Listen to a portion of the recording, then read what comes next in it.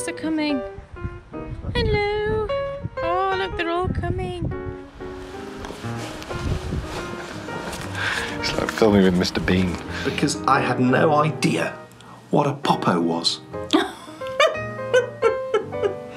In fact, I'm still not sure. I can't believe you're talking about. We haven't got any food. oh my goodness. So you could absolutely do that. And actually, I didn't hear the traffic at all in the church. The pub? Straight up there. Just round that corner on the right.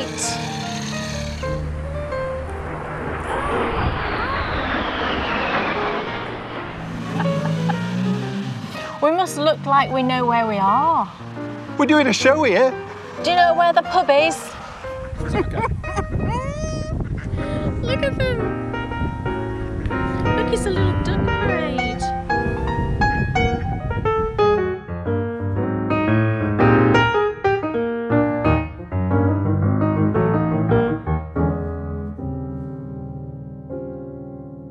Welcome to episode 133, and I'm partially happy. Partially happy. Yes, I was extremely happy, Right. but then this morning arrived. Yes. And the temperature went up at least five degrees. Oh, yeah. And I'm not quite so happy. But No. coats have been retrieved. Yeah, only light jackets. Yeah, and cowly things. I wore a cowl on did? New Adventures. Yes, you'll see. yes. Oh, oh, they will already have seen a bit. And how exciting was that? It only dawned on me, Kay, that yes, we have what a show we have in store. We do. Because we have literally, although I may have to snip a bit more out of it, so do not miss the gold edition, people, because it, I think we could have done an hour. Yeah, we definitely could have done more. Uh, no, no. No, no. I think I had footage to edit no, to an that's hour. what I mean. All right, yeah, right. Yeah. Just because it was so interesting. Absolutely was. Mm. And the reason why I'm sort of so smiley and, and laughing is did you see the clip? Excuse me, do you know where the pub is?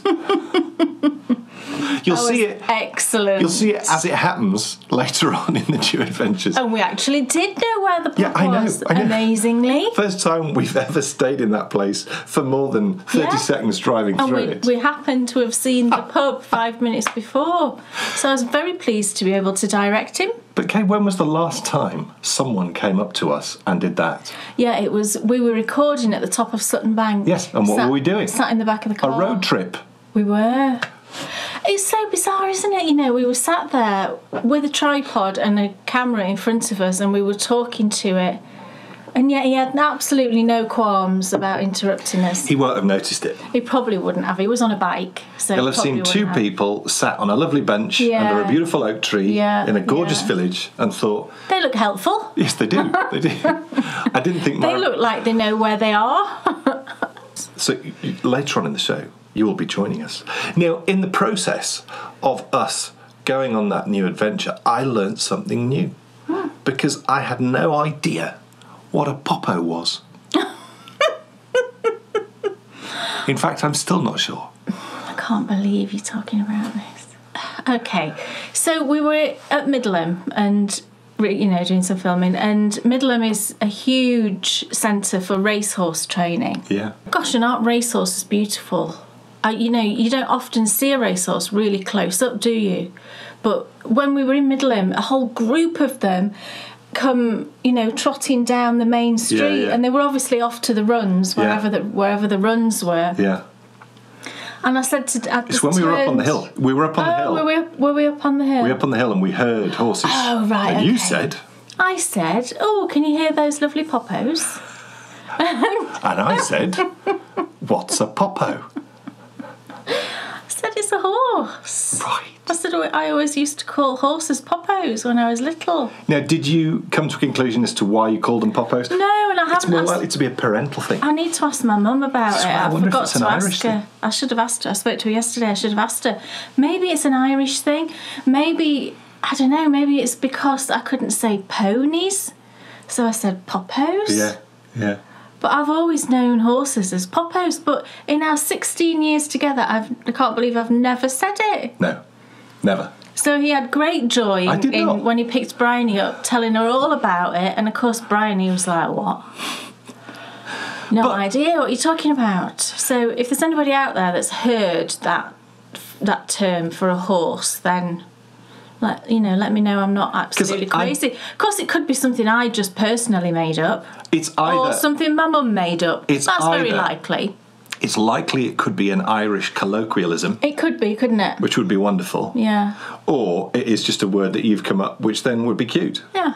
So, and you know, I say from now on they're poppos. Feel free to use my poppos yes. instead of horses. But look, not only do we have a new adventure, last Friday, the Miss Potter 2. Ah, yes. Miss Christmas 2. Oh, I love Miss that. Miss Christmas. No, no, no. It, it just made me think of John Lithgow in The Santa Claus, where he decides to have Christmas 2 in March. Oh, yeah, he Yeah. does, doesn't he? But no, no, it's the Miss Potter 2. Yes. What a gorgeous first pattern. Thank you very much. Oh, yes. I'll be showing it in What's Off Your Needles. I will show you the Mrs. Tiggy because the first pattern was inspired by, of course, lovely Mrs. Tiggy Winkle. I've been dying to, you know, do a pattern based on Mrs. Tiggy Winkle, and I knew that it was going to be in this collection, and I just thought, oh, it's got to be the first pattern that goes out. Yeah. And I'm super pleased with it. It's really, really pretty and lovely to knit.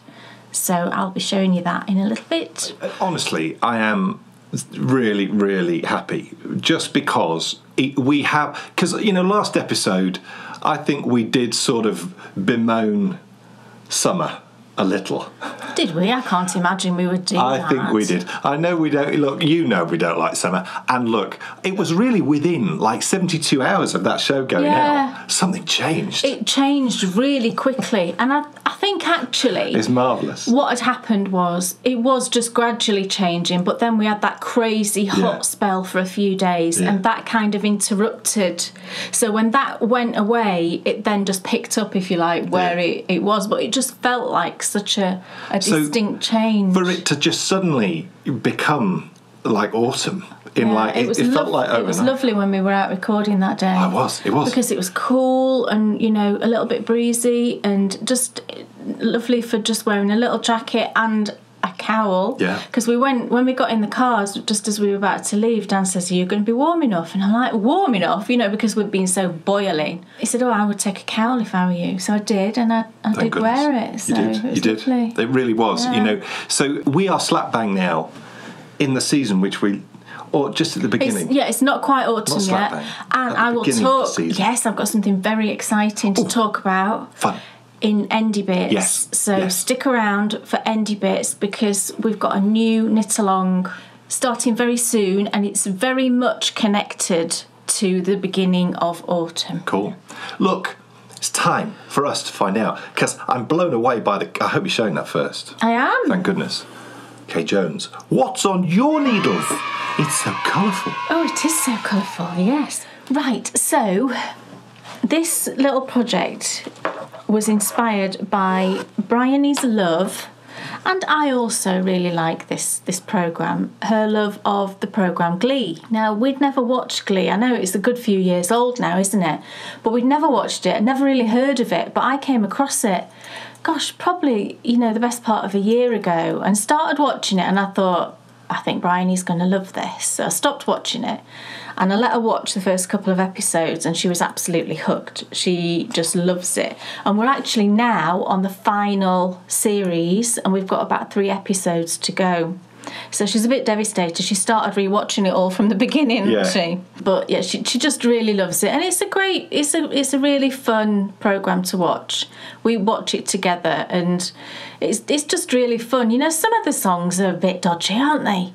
But a lot of them are really fun. And there's been some brilliant guest appearances by Yeah. people. Olivia Newton John. Olivia Newton-John and you know Rachel's dad. One of Rachel's dads was Jeff Goldblum. Jeff Goldblum. I mean, he hasn't been in it actually since then, which is a real shame. He was absolutely brilliant. So there's been some great sort of guest appearances. Ricky Martin was on it. That was excellent. He But a- also Gloria Estefan. Gloria Estefan is whose lo- mum is she? She's I someone's mum, isn't she? I just love Gloria Estefan. And Santana's mum. and also Stifler's mum from American oh, Pie. Oh, yeah, in she's and she's she was of course in hilarious. Friends. She was the one who put on the fake English accent in Friends. That's right. And, and danced for Chandler. Yeah, yeah. It's really yeah. So she's a brilliant actor, and yeah, it's just been really fun to watch. So we're nearly at the end of it. But she said to me recently, she says, oh, her, fav- her favourite characters in the programme from the beginning, since she saw them, and I knew that this particular person would be her favourite. Her favourite characters are Kurt and Blaine, or Klaine, as she calls them. Or blurt, as I Or call blurt, you call them blurt. yeah, and that really annoys Bryony. She's like, no, they're not. She's very defensive of her favourite characters. So she asked me if I would knit something rainbow, you know, in, in honour of Kurt and Blaine. So I thought, yeah, absolutely, I will do that. And I went through my stash to try and find, you know, six minis that would work as a rainbow and I just didn't have quite the right colours. So I thought, well, do you know what? I can just dye them. I've got some minis in my stash. So I will just dye them up. So I did that and I will show you the colours that I came up with. She wanted a nice bright rainbow. Oh, I'm knitting with that one, it's attached. In fact, I've got a set that I can just show you in the minis because here they are. Oh, aren't they lovely? I went for a pinky red. I didn't want a red red, I wanted a pinky red. And then this is kind of like a peachy orange and a golden yellow. And I did the way I dyed these, I, I did like a base colour. So for example, the orange, because I wanted a peachy orange, I actually dyed this initially with a peach colour and then I over dyed it with I think it was citrus was the colour, a really bright orange, but I just went gentle with it until I got the right shade that I wanted. And the same thing with the blue. I started this with a sky blue and then I over dyed it with a brilliant blue. So the, you get a really nice tone. You can see the kind of lighter colours underneath it and it just produces a really nice depth to the colour rather than it being sort of a flat colour. So I've got, I dyed up an extra set as you can see and I'm going to use these as a prize in something we're going to talk about in Endy Bits. But they're, they're all the colours that I used, really, really pretty. I wound mine into little balls and I'm knitting her some fingerless mitts because she loves fingerless mitts. She's got, I think, two pairs that she wears a lot for school and she likes fingerless because she, she needs access to getting her bag off and getting books out and things like that so i thought right okay i'll knit some fingerless mitts for her so i'm just improvising a pattern i wanted to put some kind of textured pattern on the front. I didn't want it to just be plain. I wanted something going on. And I've really wanted to do something else with the, the stitch pattern from my Jemima socks. So I used that, but I just tweaked it slightly so that I got really clean lines in between the colours. So this is the mitt so far. Oh, isn't it fun? Oh, it's so fun. And I'm actually on the ribbon at the top here. You can see what I was really pleased because I managed to get through all of the colours and then go back to the pinky red at the top. So it's it's top and bottom with the same colour and then, you know, going through the rainbow and that's it you know just in the plain colours.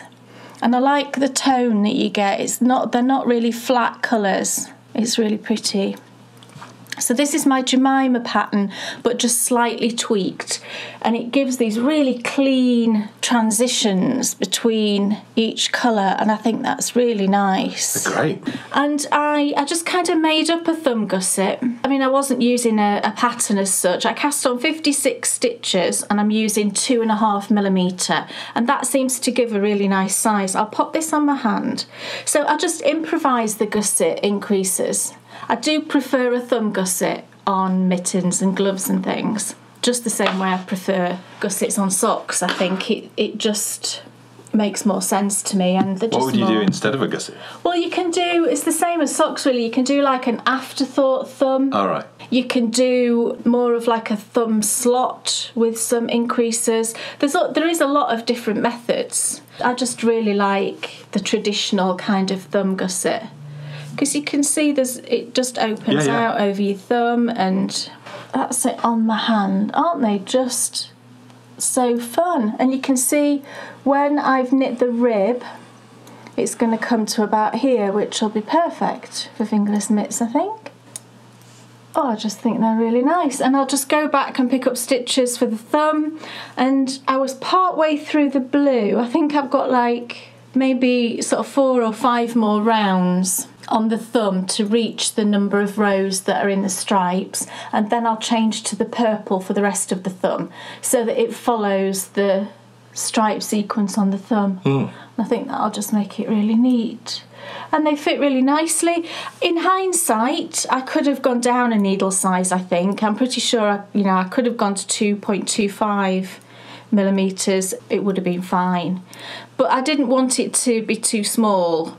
And I think if a, a mitt is just a little bit, tiny bit oversized, if you like, it's fine. It's not a problem. It's just really fun. And I've knit this so quick.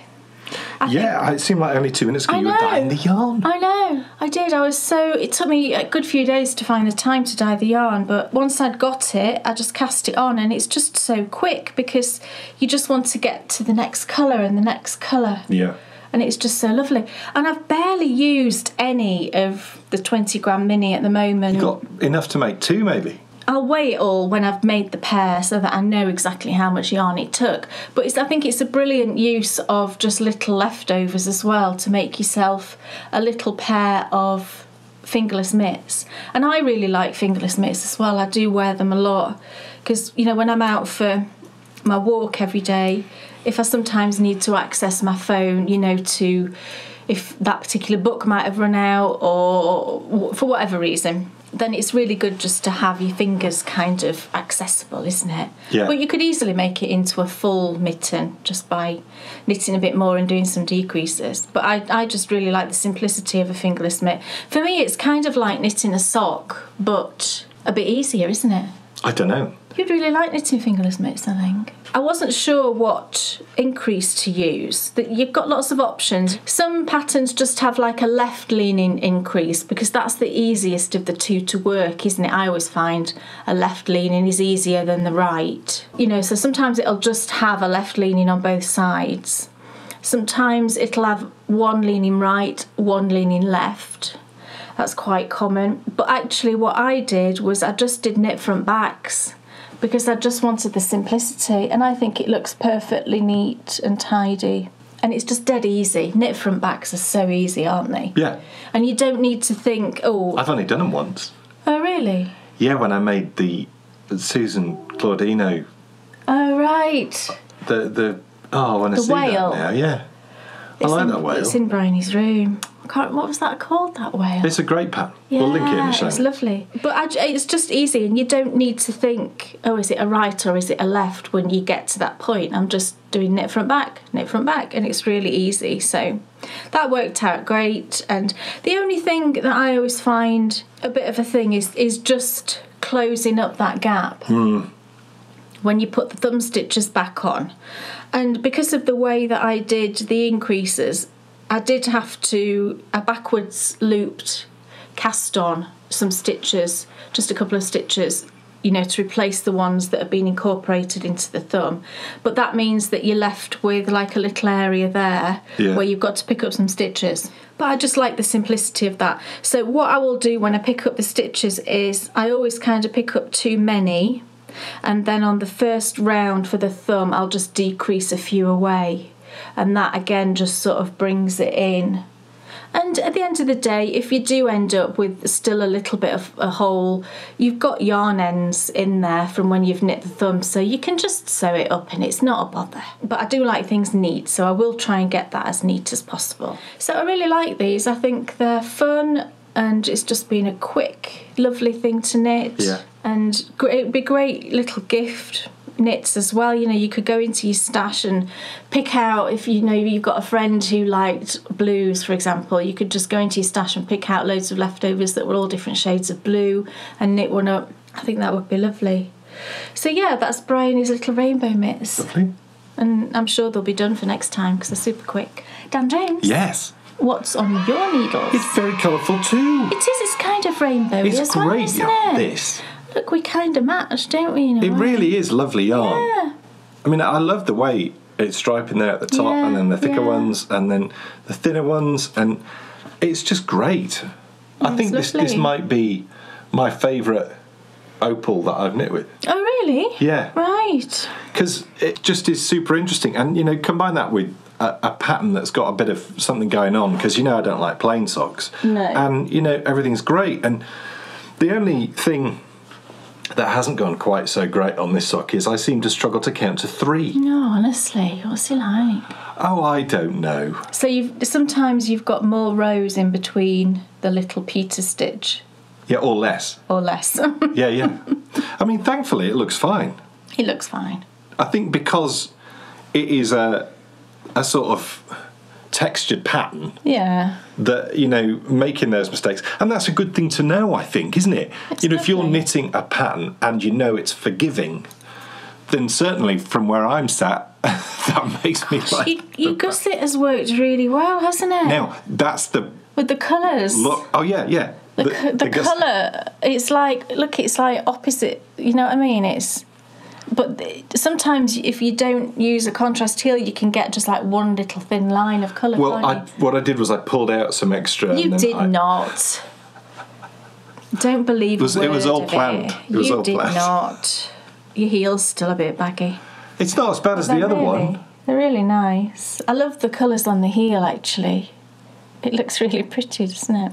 yeah i've just got to pull even t- i was really pulling as well which bit was, was is bad It's not bad. These stitches here on your heel turn yeah they can't see are they sorry. all want to see the stitches on his heel turn are looser So do you mean these stitches or Yeah. those stitches? These stitches? Yes. Okay. because the gauge. so it's when you're on- working backwards and forwards. you gauge on your heel Yeah. you can see these are tighter here Yeah. and your heel stitches are looser Yeah. so you're just losing tension a bit when you're knitting the heel your actual connecting stitches as well like the decreased stitches either side could do with it being a bit tighter the whole heel turn just needs to be a bit tighter Right. Well, I'll rip it out.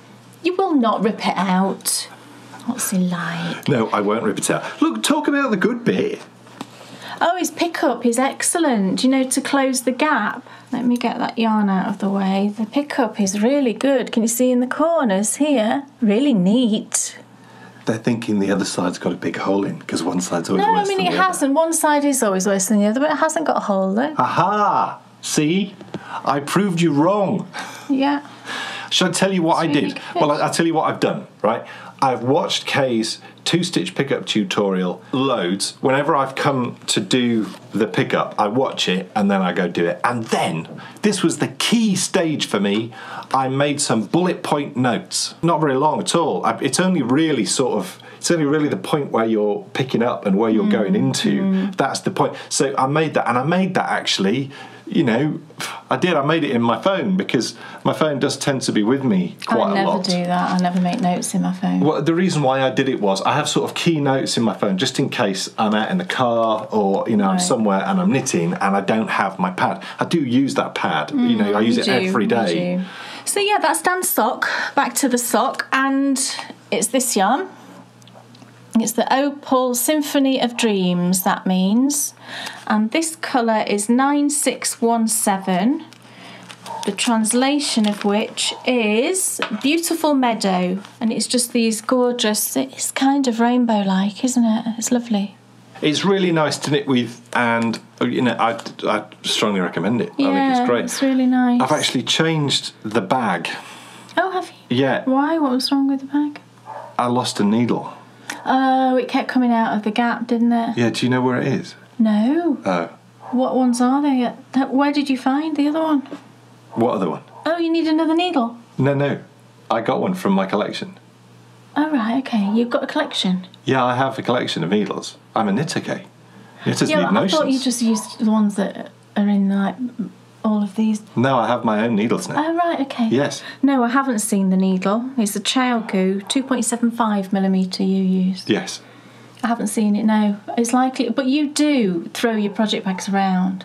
And the other one was a drawstring. That's what I mean, and it slipped out of the little I'm loving knitting the, the, the sock. It's a great pattern. It's the Peter pattern. Yes. From the previous Miss Potter sock Yes. club. Yes. That's a lot of peas. It is, isn't it? What else is on your needles? Oh gosh. Right. That's the more peas.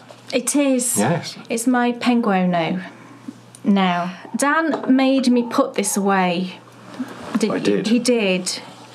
Because She's a fool, I tell you. I'm not, I don't know why I'm a fool. Because you don't knit what you want to knit. Oh gosh, I've been kind of forcing myself to knit this. Because You've always done this, though.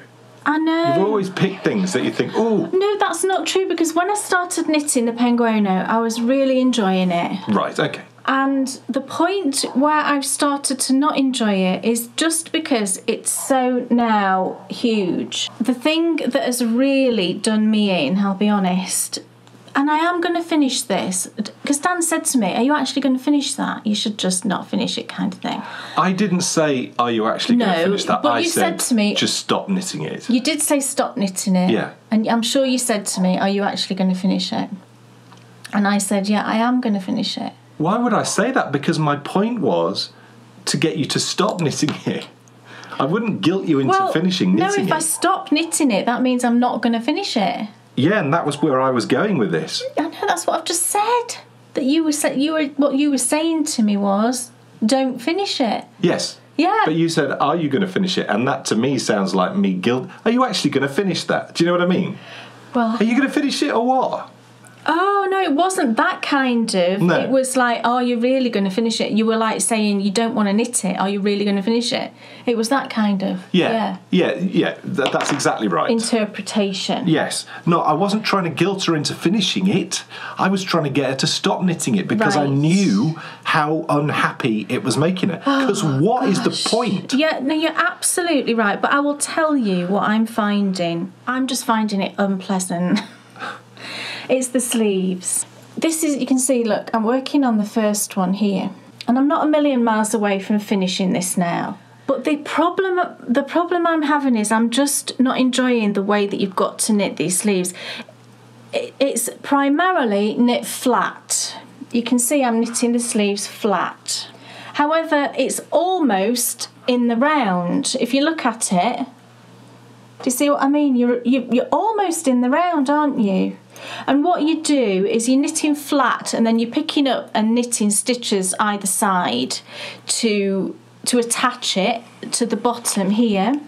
And then when you've done that, which I have done, you then start doing decreases here until you get to a point where you've done enough of those, and then you stop. And he he then has you doing something with this gap here. I forget what now. And then ultimately, you then do switch to knitting in the round just for the little bit of cuff at the bottom. But it's I'm finding it's so uncomfortable to knit. You know, you've for starters, you've got all of this going on on your knee, and then you're knitting flat on a piece that seems almost in the round. So it's very awkward to knit if you imagine, you know, here is the beginning and you know, I'm having to knit across like that. When you get to sort of this point here, you're all, you know, this bit's attached and it sort of pulls in and I'm just, you know, and the whole time I'm knitting it, I'm thinking, gosh, I've got to do the other sleeve. I was determined when I was knitting this, I was like, right, okay, do you know what? I'm just going to only knit on this until I've finished both of those sleeves. And I got to this And make myself miserable. I was completely miserable, and I got to this point. So you know, I've knit all of this since the last. I think I'd just picked up, hadn't I, for the sleeve the last time. So I've knit all of this, and it's moss stitch. So that takes a lot longer. It's knit one purl one, you know, so it takes a lot longer to knit than if it was just garter. But I really love the look of the moss stitch. I've actually just changed yarn colours because I thought that might inspire me a bit more if I change colour. I did. I was going to keep it all in this lilac. I've just changed to this speckled. But Dan made me put it down, and it was the absolutely right thing to do. I was so much happier. I was like, oh yeah, I'm gonna put it away. I put it in the bag. I can't see it. I'm not going to think about it. So oh, I just don't know. I mean, The only time that you should so knit on this that. is so this is like the front you can see here, and here's the sleeve coming down. But I think because it's such a massively oversized garment as well, that makes it even more weighty. Yeah, okay, I appreciate the advantages of having it all in one piece. But when you've got this many ends to deal with at the end, can you see them? When you've got this many ends to deal with when you've finished the garment, I might as well have knit it in pieces and been much happier. Yeah. Let's just look at some of the positives because I've not really done that yet. Right. That looks stunning. Yeah, I It mean looks- the moss stitch it is looks lovely. stunning in that yarn. Yeah, I've just used a. This is Cascade Heritage in lilac, I think. Yeah. Held double with the DK yarn, which is what I'm doing. which is the King Cole Merino DK, and the colourway's Aran. So I'm just I'm holding that one all the way through, and then just changing the fingering weight, min, sort of like leftovers and minis, if you like. And I do really like that lilac. I think it's really pretty and really nice. But I, so I just don't know. I can see you in it. Yeah, I mean, I can see me wearing it. But at the moment, you know, I've got to finish this sleeve. Yeah. I've got to then go across and do exactly the same thing for the other sleeve, which fills me with dread. You should not knit on that until you think, oh, do you know what? I really fancy knitting on my Penguono. I don't know if I'm ever going to be at that stage though. So in three months, you hibernate it forever. But then and put I it down to experience. But then I feel like I've wasted all that time. Why? I just You do. enjoy knitting. I know, but I, I really, I do want the finished thing. You know, I mean, I Well, really that love. then should be your inspiration. I love the way the you know the welts look on the back. I think that's really nice. I do want the finished thing. But there is know, no it's point just the thought putting of- yourself through because knitting i think has a there's a lot of skills in life which if you do them and they make you unhappy it has a roll off in the rest of your life for example if i was playing a show with dreadful music it would make me unhappy for the whole time i was playing that show I know. because it's like you're doing I used to say it would be like being a Formula One driver in a Formula One car and driving at 30 everywhere. Yeah, I You know just what get you mean. frustrated. I know what you mean, but this is the thing with me and garment knitting, and I I really want the finished things. But I just don't want to knit them. And you know what does that mean? I don't Shall I know you what, what that says about me really. I'll tell you what that means. That means I need to knit the things that you want. yeah, and you know. I'm wearing my Solja. Today. And I'm telling Which is well, fantastic, The you colours know, and- just Yeah, I mean it's all really hail to. Kay because you picked these colours and they suit you. I've, I don't think you've got any. I've never seen you wear anything that makes you. No, do you know what? I always thought I was a person who suited more pastel shades, you know, uh, pinks and light blues and peaches and things like that. But actually, I don't think I am. I think I do suit more autumnal colours. Th- this colour is great, yeah. but also all of these colours work together then with, you know, Yeah, just I mean it's lovely. So I love I love having the finished thing, and I want the finished thing. I I just never would have knit this, and I don't know what that says about me as a knitter. it says you're not a garment knitter. Yeah, I There's know, no but then I just don't feel like I'm a real knitter because I don't want to knit. That's Uh, external pressure It's- that you're getting from social media. It probably is because everywhere no one's look, putting it on you. No, no, no. You're no. putting it on yourself. Absolutely And I'm no- sure that you will will no probably at is- times do that too. No, no one is pressuring me into doing anything. You no. know, it's pressure that I'm putting on myself. But I do think it is because I see because garment knitting is very big, isn't it, right now? And it's been big for a while. You know, colourwork sweaters are beautiful, and I people wonder, are though- churning out sweater after gorgeous sweater, and I just think, oh my goodness, you know, I should be doing that because. Everyone my- else is doing that, and I wonder that- how many other people think that. And well, and I don't want to do that. I hope I'm not the only one course you're because I do one. sometimes think I think I'm the only one that oh, doesn't that's really insane. want to knit garments. I want to have. It's like the Hitofude that I cast on. I haven't touched it since. I just don't really want to knit it. So I, gone. I would love the finished Gone. thing. I want you know I would love a beautiful that fingering fingering weight Hitofude. I would love it. But just the thought of knitting it doesn't fill me with joy. And you're right, Look, and I give, shouldn't. give me two years and I'll be doing fingering wet jumpers. Yeah, and I just have this internal battle with myself, thinking I should be knitting all these beautiful garments, and I'll, I'll come back to I'll come back to the, the music analogy is an easy one for me because you know I'm, I'm a musician. If you are a musician and you are playing the music which you don't enjoy, you're wasting your time. Yeah. Similarly, if you are a knitter and you d- just think that your needles are an instrument, yeah, and you Yeah. Mm. like playing certain tunes, you don't like playing garment tunes. So don't play them. no, but I do really want to finish this because I, I just do. I want to finish it. It's like I've, you know, it's a challenge now. It's a real challenge for me to finish this, and I just want to achieve it, and I think I'll feel really good. That's cool, When but I've I do not it. think you should dive into it. No, Full on. I think maybe what I need to do is just do a little bit each time, and those little bits will build up, won't they? I do think though that a rest Yes, know, absolutely. A a change is good as a rest, isn't it? Yeah, You know? I, I tend to think, right, okay, if I've got something that I don't really want to knit, I'll just throw myself into it and just do it and do it and do it until it's finished. But then the danger with that is that at the end of that, you're so exhausted from knitting it that you don't want to knit anything.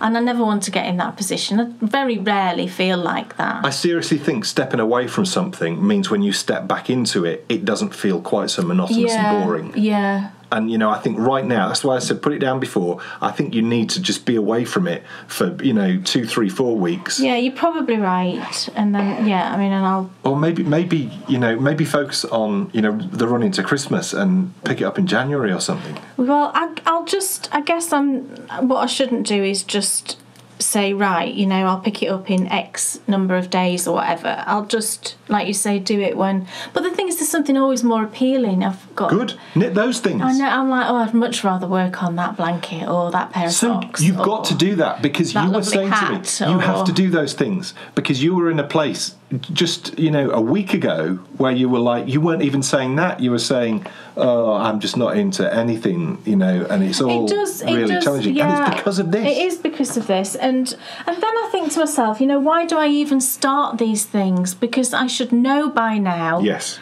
that although yes you know that project seems brilliant and i really wanted to make it i should know myself well enough to know that when i get to a certain point i'm not going to want to knit it and then i could have been much more productive working on things that i wanted to knit so Yeah. i think you know the lesson learned is that i've really got to resist that pressure that i put on myself all you have to, do to think that i'm an only a knitter if i knit garments all you have to do is knit the things you want to knit I know. Don't and knit the that's things really, you feel like you should hard. knit. That's really hard for me because you know, and it probably is. You know, all all these things that I see on social media and all these beautiful patterns that come out on Ravelry all the time.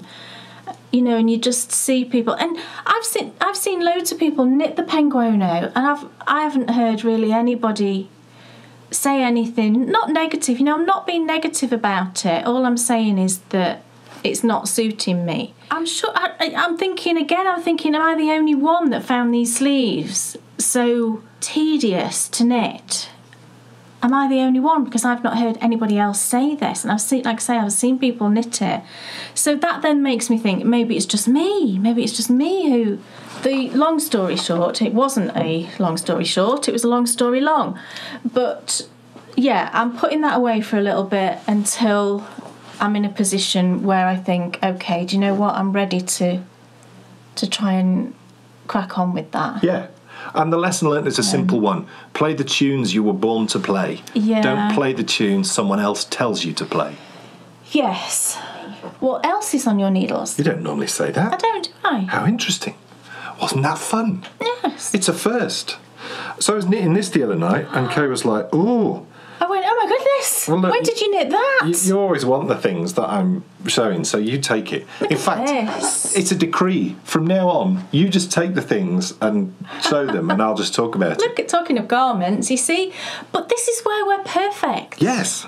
Because Dan really enjoys knitting garments, so why do I pressure myself? But again, I'm putting this pressure on myself. No one is doing it to me. No, no, no. I know it's totally me. It's all But- a, a mental battle. You know, that is life, unfortunately. I know. You know, and, and different people have different challenges along the way. Yeah, you and seem to have a massive internal battle with inadequacies. I do. I absolutely do. And everybody's different, aren't they? And it's like you say, it's just my battle, I suppose. Yeah. Um, but anyway, And through the colour work. look at look at Dan's.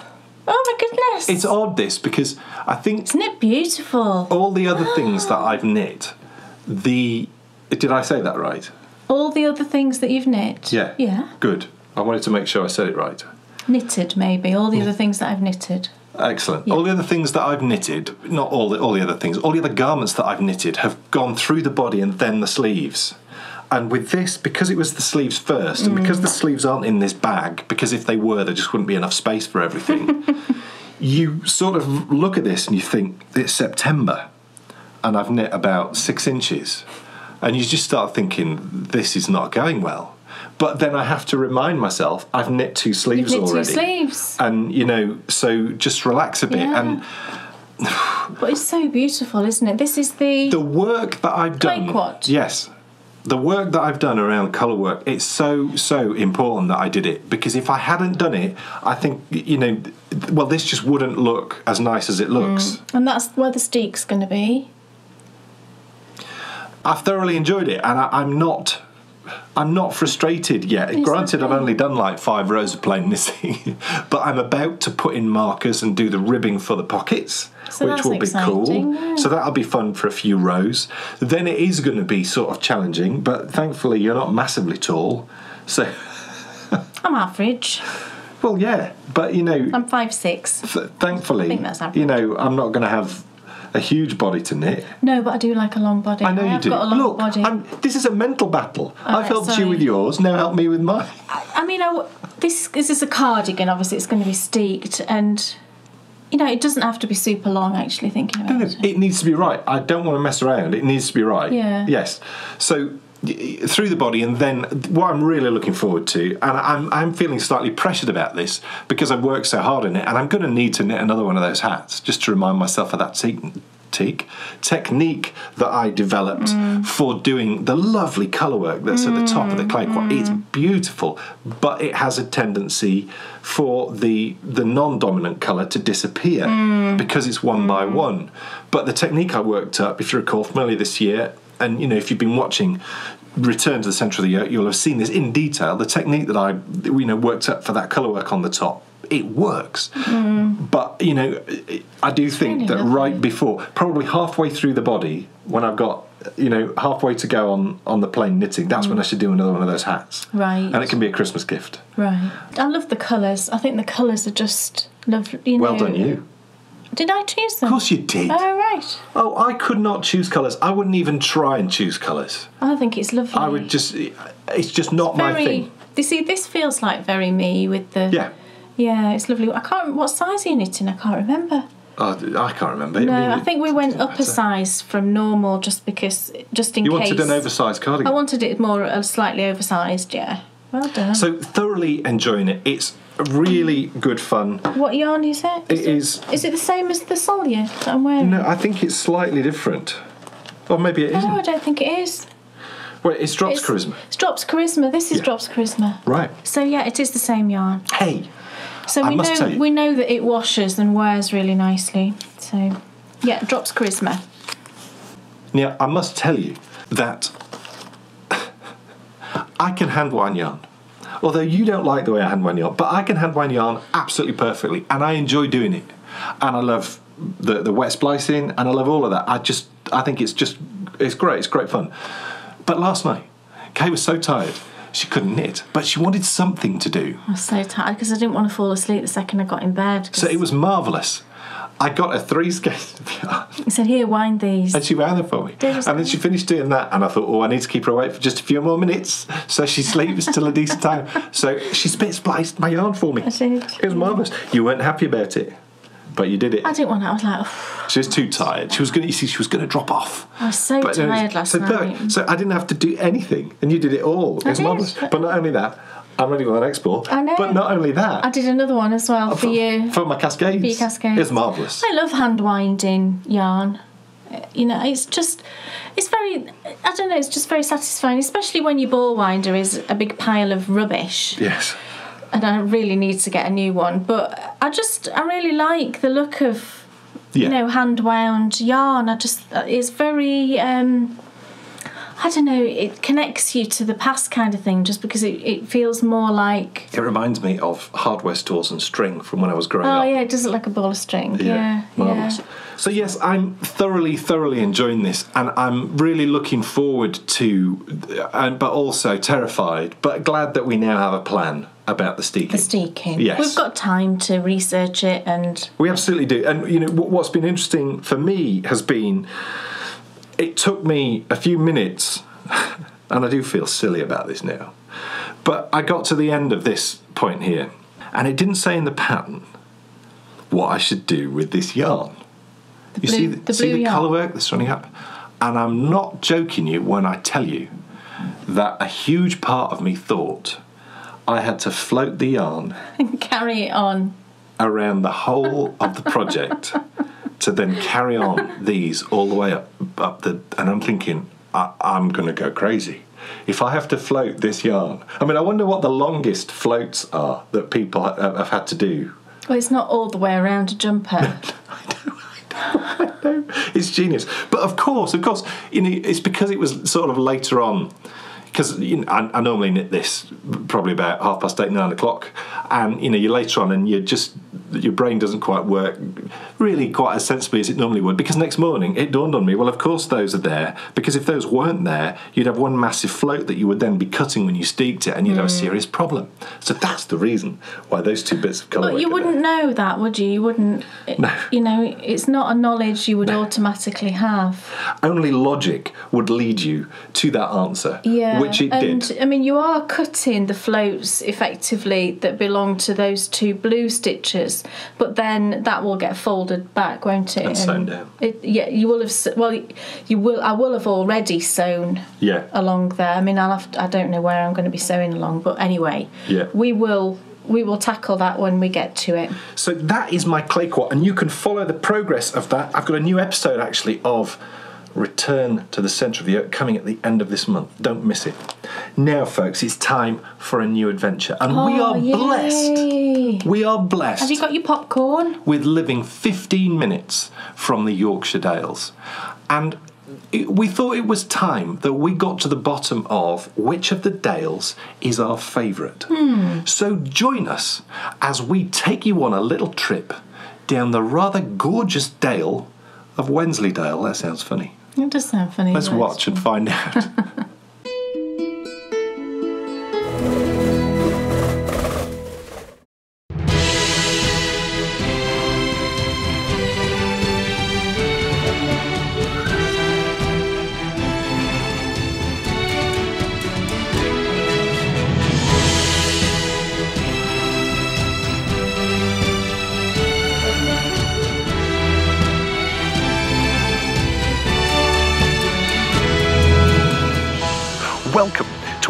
new season of New Adventures.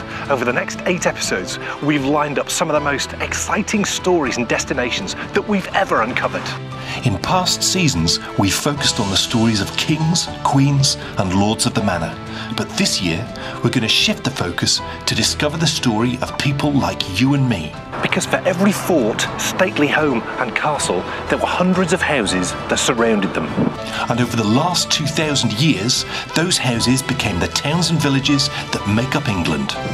So join us in 2019 as we uncover the most important pieces of history we've ever investigated. This is the story of England, and these are the new adventures of the Bakery Bears.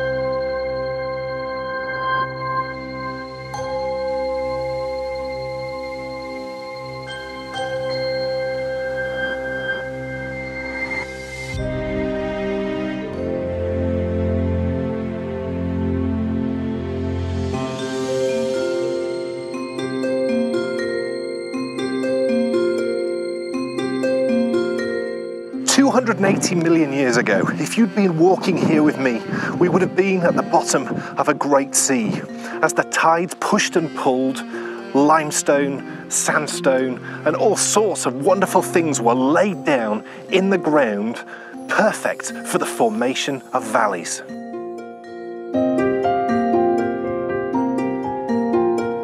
As the millennia passed and the continent shifted, the land which once lay at the bottom of the ocean pushed its way out above sea level and became this beautiful landscape.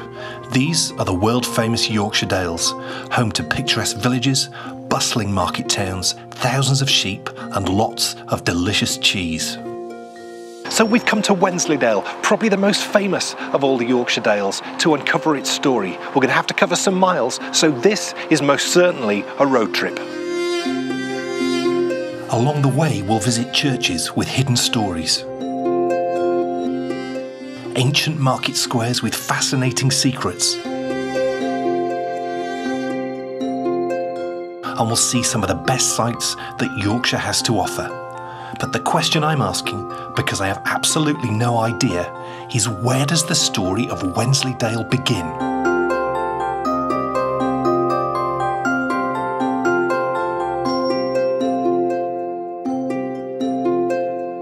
It's actually right here.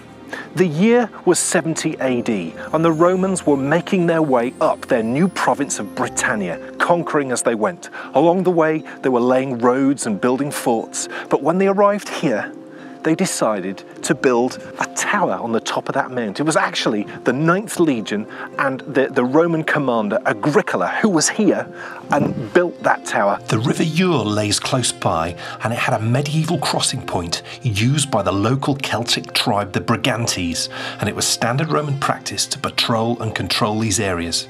For the next 1,000 years, the history books say nothing of this part of the world until the arrival of William the Conqueror and his invading Norman army.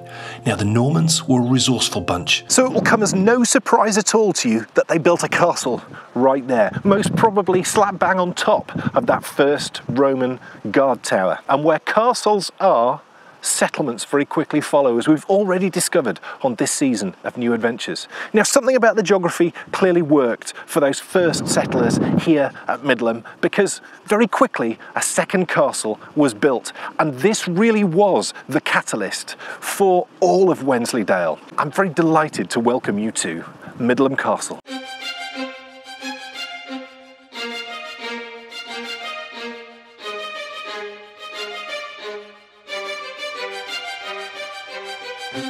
First castle built up on the mount was done so on the instruction of Alan the Red, a man we've already met in episode 3 of this series of new adventures. Alan must have been a generous man because very quickly Middleham was gifted to his brother Ribald.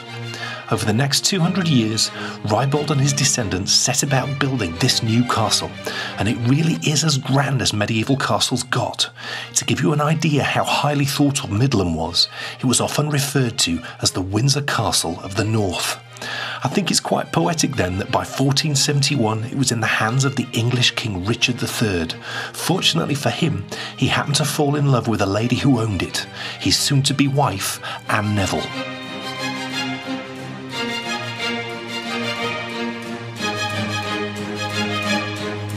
Middleham wasn't just some royal castle that the royal family visited whenever they were in the area. Oh no, this was Richard and his wife Anne's family home. And with the presence of that royal court pretty much the whole year around, it brought investment, it brought jobs, and it brought lots of people. Middleham very quickly became the beating heart of the whole of Wensleydale. The town formed around two market squares, and this was the larger of the two. Every week, merchants would set up their stalls right here as people travelled from across the region to buy everything they needed. Middleham was so important, though, that it actually had a separate market just for the buying and selling of pigs. And in the centre of this smaller market lies a medieval market cross. In medieval towns, the market cross was the heart of the community. Middleham was so important it actually had two. From the 10th to the 16th century, every town had a market cross, but of the 12,000 which once stood, only 2,000 now remain. Why were they so important? Well, think of them as the precursor to the town hall. They were used for preaching, public announcements, and they were also the place where punishments would be sentenced and delivered. So if I was caught stealing swine from the swine market, it was right here that my punishment would be delivered. Now, before the magistrate turns up and puts me in the stocks, I think it's time that we moved on.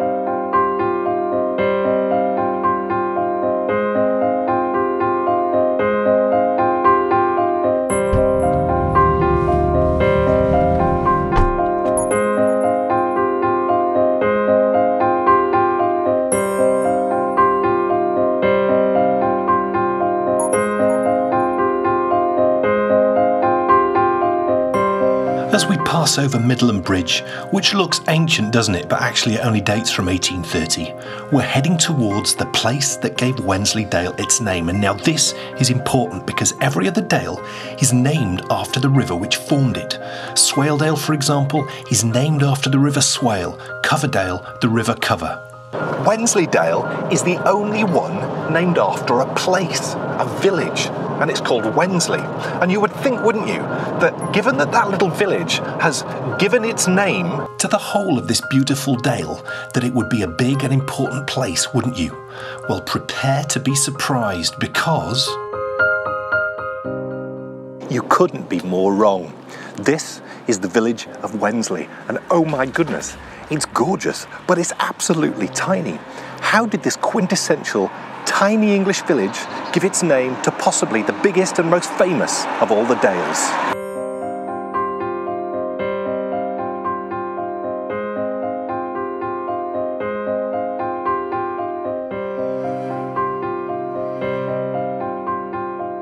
Wensley's original Old English name is Woden's Lay, or meadow of the Viking god Odin, so it's highly likely this village was first settled by Viking raiders around 800 AD.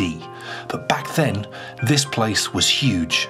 The Domesday Book, written 200 years after Wensley was formed, lists it as having well over 700 inhabitants. By 1202, it had grown even further and it was granted a market charter.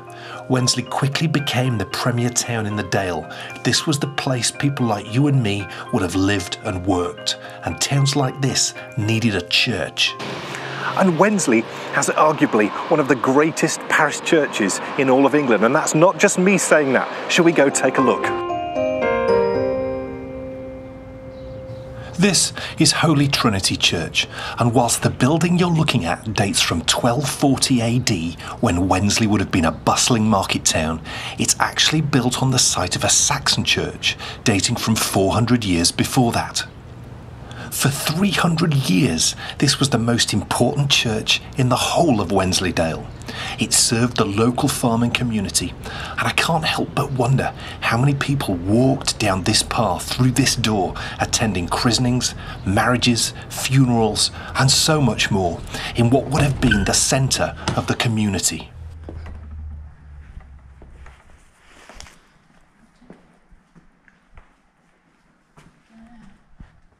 We're in the nave at Holy Trinity Church in Wensley, and this is the Scrope family pew.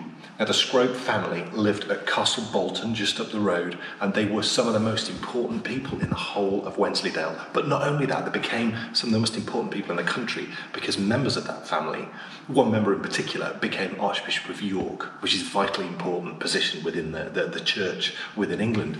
And this is where they came to sit for services. But not only that, at the back of it, when the monasteries were dissolved by Henry VIII, bits of the monasteries were moved, and we're going to see little bits of those throughout today. It's the first time I've ever seen any of these things.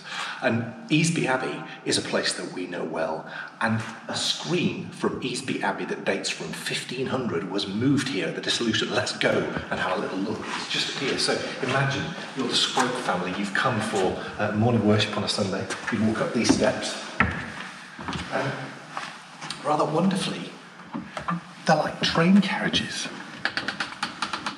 It's just marvellous. Neil, what I assume as well is you draw the curtains before the, the, the service started. And then when the service starts, that's when you'd open them and you'd be interested. Because, of course, you'd want to shield yourself because the congregation would be staring. Because it's a little bit like the royal family. It's absolutely fascinating. And this is that screen that was moved from Easby Abbey. And there's something particularly meaningful for me looking at these things. Y- you will know how much we enjoy exploring ruined abbeys. We're absolutely blessed with, you know, some of the most fascinating ruins, I think, in the world when it comes to abbeys.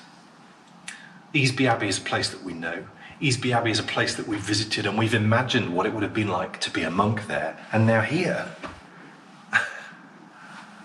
I can sit where they would have sat. And look, I mean, this would have been gorgeous. Just imagine earlier this season we visited Ripon. And if you think about, you know, what was above the seats in the choir in Ripon, this would have been similar. Not quite as pretty, but similar. What a stunning place.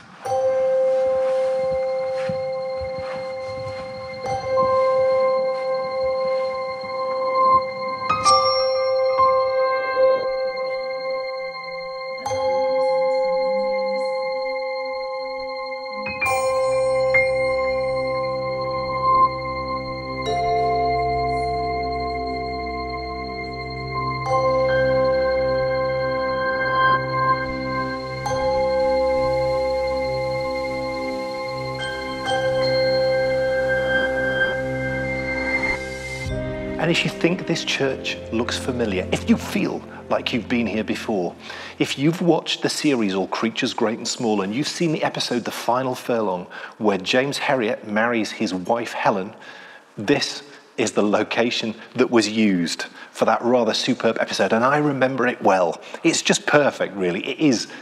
I'm not surprised it has been listed in the top 100 of all English churches because it is just gorgeous. But I think it's time that we found somewhere perfect for a sit and a little bit of a knit. And we spotted somewhere under a oak tree, oh yes, to do just that. Well, it doesn't get much more English than this. We're sat under a It's an oak tree. in Huge apart from the traffic, as you're hearing that. But you know, that's just the nature of the modern world, isn't it? You know, it's such a shame. It is such a shame. We were just saying. I mean, this is such a pretty little village. It's stunning. The houses are um, just amazing. They are amazing. you totally can see, you know, these. Well, it, they are so.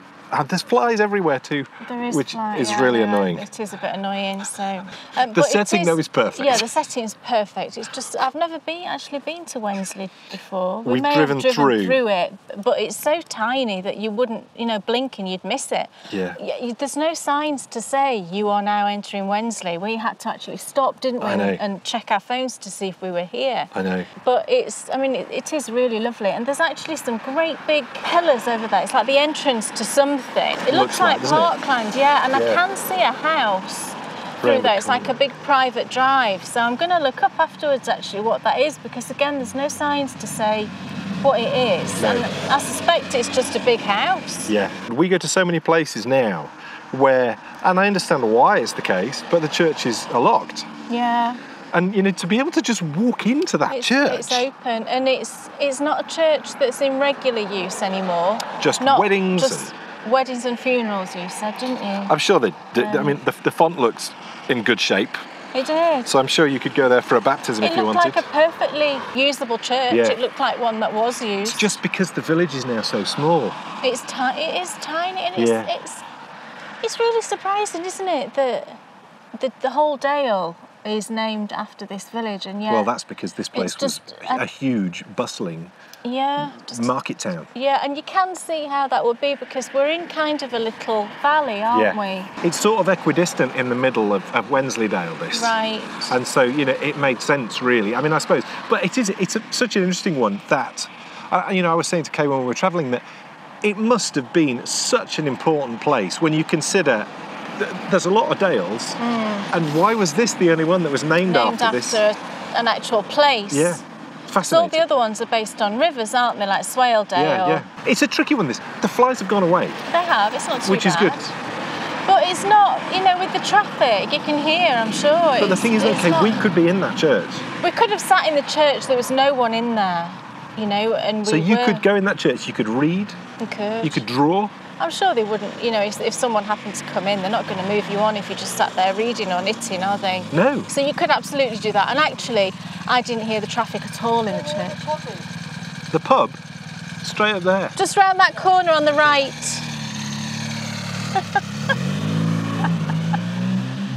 we must look like we know where we are. We're doing a show here. Do you know where the pub is? I do actually. We just saw it. It's up there. It looks lovely. So it's score for notability. well, I'd probably go an eight, Yeah. maybe. I think you're right. Because if you took away the traffic, Yeah, it would be a 10. yeah, I would. Because I you would have agree. This perfect seat, it could be spitting and, we'd be dry. Even if someone was already sat here, there's like these little greens, isn't there? And you could just throw, Rug out the back. throw a blanket down and you'd be fine. It's a bit breezy today, but you know. So this village apparently had over 700 residents, which I find amazing because now it looks like there might be about four. but I mean, where did they all go? Let's go and find out.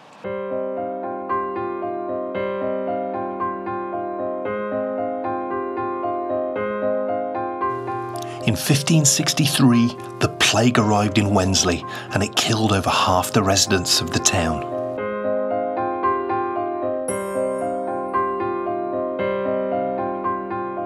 I can't imagine the terror which must have haunted the congregation of this beautiful church. Within months, the majority of the residents had left. The thriving town was virtually deserted, and now, nearly 600 years later, all that's left is this small but absolutely gorgeous little village.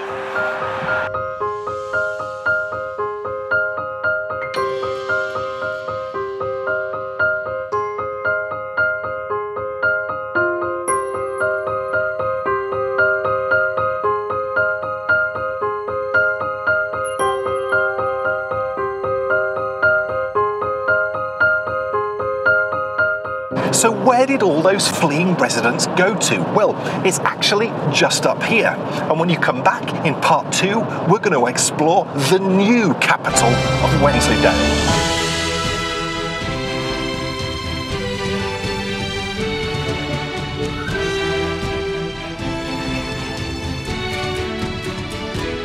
So I'll see you later in the show when we'll be exploring the rather marvellous town of Leyburn.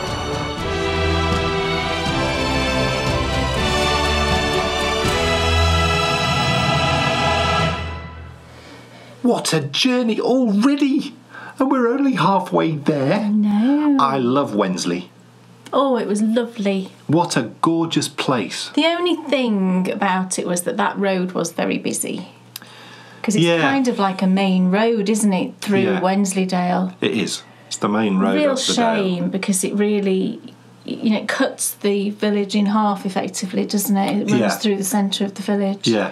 Um, but it's a beautiful, beautiful little place. Yes. And that church, goodness me, was just amazing.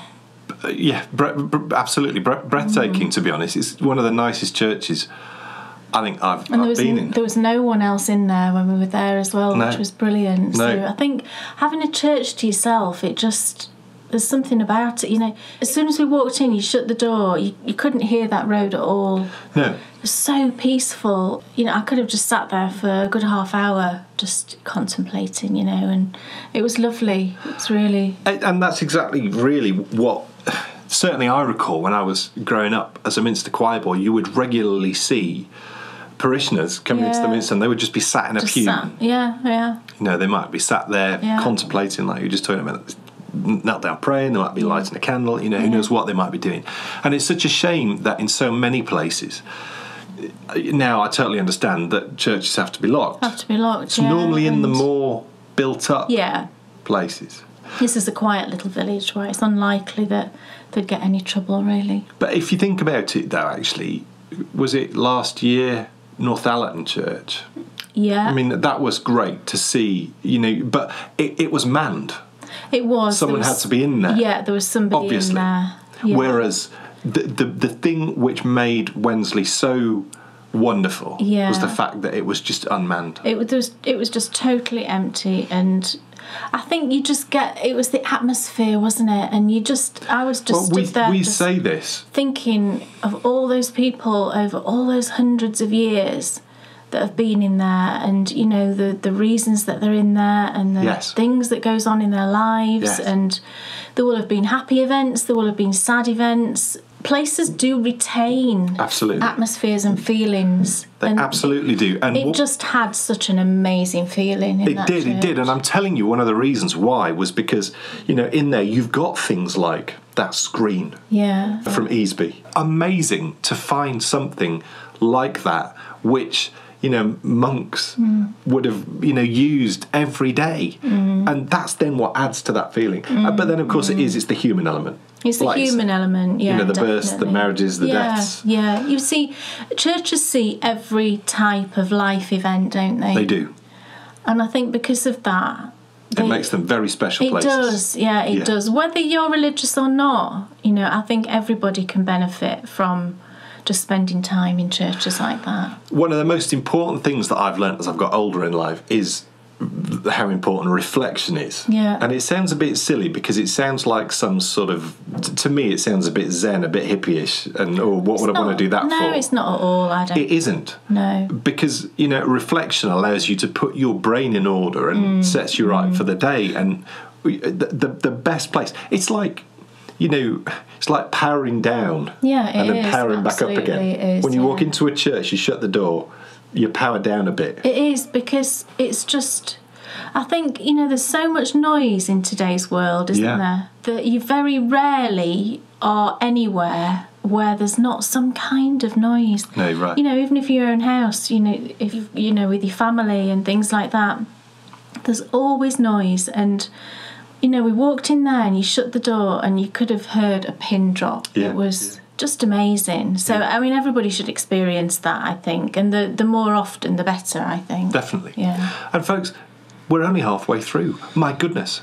Neil, if you enjoyed that, then we need you because New Adventures, Pudding Club, really everything that we well, not really, everything, that we do is empowered by our Bakery Yeah. Bear patrons. So if you would like to find out about what it means to be a Bakery Bear patron and about getting access to all the exclusive, because really this, what you're watching, is just the tip of the iceberg, then if you have a read of the above, and if you follow the link below, you will find out everything there is to know about joining the Bakery Bear community.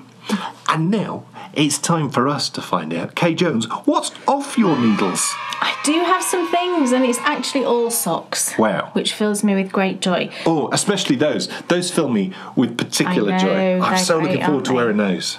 Now, the first thing I just wanted to show you and talk about is it's a design I was working on from the last podcast that I spoke about that I had lots of positive comments about, and that's really kind. However, I finished the first sock and I could see there was some issues stemming from the stitch pattern. Now there's slip stitches in the stitch pattern, so you always expect it to sort of pull in, don't you? But this was distorting in a very odd way. And I blocked it and I, I actually blocked it and then reblocked it because it just it wasn't I had to really be forceful with it to get it looking kind of sock shaped.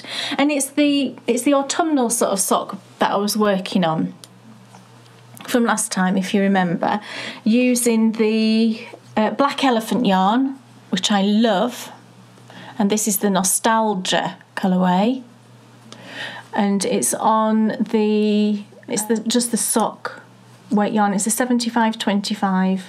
It's really lovely, and you know, on the face of it, it looks okay.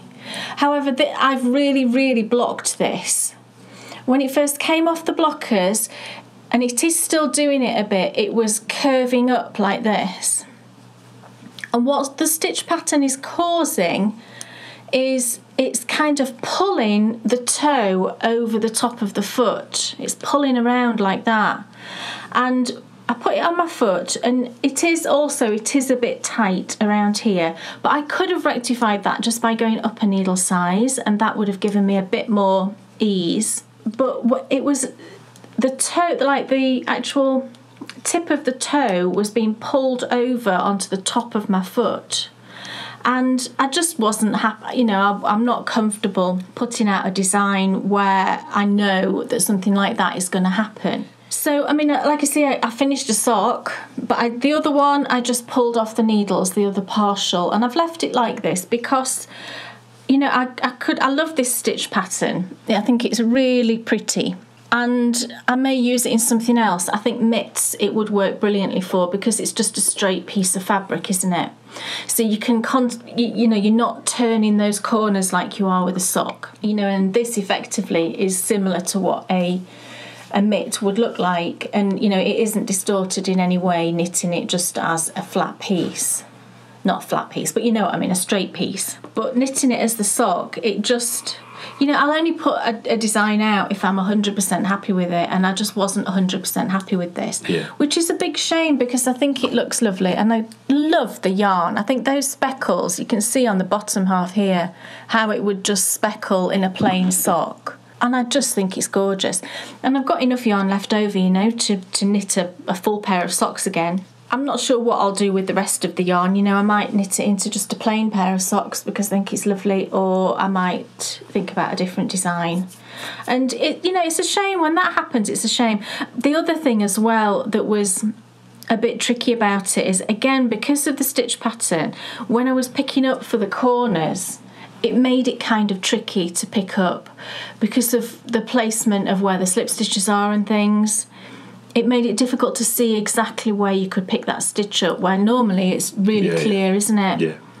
and if I, I was thinking if i'm finding this a little bit tricky then you know other people might find that tricky as well and it did create a little hole on the other side which never happens normally with my socks so all of these little elements just made me think okay let's just chalk that up sometimes you've got to do that with designs you know and they don't always work out and that's a difficult thing to kind of handle sometimes because you're thinking, oh, you know, I was just, I just so love knitting the stitch pattern, but I can certainly, you know, putting it into a fingerless mitt, I think would be lovely because Yeah. it'll only be on the one side. Obviously, this is on both. Yeah. It's really cosy. I mean, if you imagine that as a fingerless mitt, it's obviously a bit big, but I think it would be lovely. Yeah, definitely. So that could well be on the cards for it, and it would look, look lovely in this yarn. So Show my socks. maybe that's what I'll do. So that's that one. It's like Christmas. So some I'm really excited about this. Some actual finished things is I finished Dan's Boba Fett sock. I never had ribbed socks before. Yeah. Except bought socks. Bought socks tend to be ribbed sometimes. I remember having some sort of smart ribbed sort of Yeah, black socks. yeah, Yeah. They do have a shop bought feel to them. What I love about these is I like the fact that they're quite sucky. You tried one on, didn't you? Yeah. Before I blocked. Yeah. I didn't actually block them. I just washed them and lay flat to dry with Dan's socks. They're going to be perfect. Uh, and they fit fine and i always think they just look so ridiculous Yeah, they do. but they fit these look particularly ridiculous because the rib is sucking it sucking it in and making it look even more sort of skinny but the yarn i think the yarn is just fantastic i mean look at the yarn it, it looks shop bought doesn't it yeah. it doesn't I, Looks like clown feet. they are like clown feet yeah let's let's It's because you don't have the perspective of the foot. No. It's because it's just like running straight down. On your foot, it looked great on your foot. Let's Yeah. fold it over and then it doesn't look so big, does it? And I did my umbrella toe and ju- the yarn is phenomenal. You know, the way great. that it's been dyed. yeah. She did such a great job. This is the mustache yarn and it's in the Boba colourway and it's the 7525. And I've still got got two little chunks left. So I've probably got enough actually to make little mitts if I did the rib, you know, top and bottom rib in a different colour. I could Yeah. make some little mitts, so Cool. that might be fun. But they just were really, really lovely, pleasant things to knit. And the I know. I'm not getting them yet, am no, I? they're going to be a birthday present. No, that's you the- can have. No, them. no, no. They should be a birthday present 'cause because I'm excited about them. Uh, it, the way it's been dyed, I think it's phenomenal. Yeah, you know, she's done a great job. She's got speckles in there and tones and just brilliant. Yeah. So loved, Look, loved those. This is all waffle. They don't want to see any of this. they do. They want to see. You do, don't you? You wanted to see Dan's finished sock. They're excited to see the Miss Tiggy socks. Oh, Mrs. Mrs. You see, I know I made that mistake. It's your fault. When I first I blame wrote- you. When I was first designing these, and I wrote down Mrs. the- Tiggywinkle. Yeah, I wrote down the name. I did put Miss Tiggy. You and your cutesy words. then- it's Mrs. Tiggy And then I realised, no, she's Mrs. Because I looked in the, you know, read a, I went back and read a story in the book. I, I always do that, you know, if I'm designing something that's inspired by, you know, a book or a story or whatever, I'll go back and reread it. And I did that with Mrs. Tiggywinkle. And she's so sweet, isn't she? Living, she lives in a little house, sort of cut into the hillside, and she just spends her days washing and ironing and all the clothes for it's just you know they're just lovely stories aren't they so here are the mrs tiggy socks and it's a sweet little sort of lacy. It is slightly lacy pattern, and my inspiration was that in the story she's always washing what she calls pocket handkins. There's always cute names for things in Beatrice Pot Potter, isn't there? And it's basically handkerchiefs, pocket handkerchiefs. I just thought, oh, I'm sure there'll be some pretty lace edged handkerchiefs that she'll be washing. And that thought was in my head. I thought, oh, I want to create something that looks like it might be the little lace that runs along, you know, round the edges of really pretty handkerchiefs. And they were lovely to knit. It's a really sweet little stitch pattern and very pleasant to work and looks brilliant in speckles, I think. I think it looks fantastic, and that's a tri- can be a tricky thing to find to, to get a lace pattern that really looks nice in a speckled yarn because sometimes it can disguise it, can't it? And I think having these bands of stocking stitch separating the lace, I think that helps the lace to, Yeah, yeah. to then stand out. Yeah. So the yarn I used is Kelly's yarn from Lay Family Yarns, and it was the Lace Hankies sock set. So main colour of this speckle, which has got when I asked her to dye the colourway because we worked on this together, and I said, oh, I want all of the sort, I want really delicately speckled, and I want all of the colours that she wears. Not the there's no yellow. She does have some yellow in like her apron, either her apron or her dress, but I didn't really want the yellow in there. I just wanted the kind of fawny, tanny sort of colour of the hedgehog, and then speckles of pink and blue. And I think it's just beautiful. And then with a heel that's kind of hedgehoggy, really lovely. Nice. So these are part. These are the first pattern in my Miss Potter Sock Club, which is available on Ravelry. You can go and purchase the club. It's twelve pounds because the pre-order period is now ended, so it's up to its kind of full price. That pre-order period ended when the first pattern was launched, but it's still only four pounds a pattern, which I think is good value for money. And you know, if you like the look of this one, then it gives you an idea of the feel of the rest of the collection. There's two more, isn't there? There's two more. The next one is out at the beginning of October, and then the final one is the beginning of November. Beautiful. So, Let's get back out to finish off our new adventure. Oh, yes, because there's still so much to discover. My goodness, we have got to go to the new capital of Wensleydale. wow. And then we've got to stop off at the place where I learned to play golf. oh yeah. Oh, yes. And then finish off in just the most. I, I love. Can we have some cheese? I think we should have some cheese. so, enough talk and more action. And let's get back to new adventures.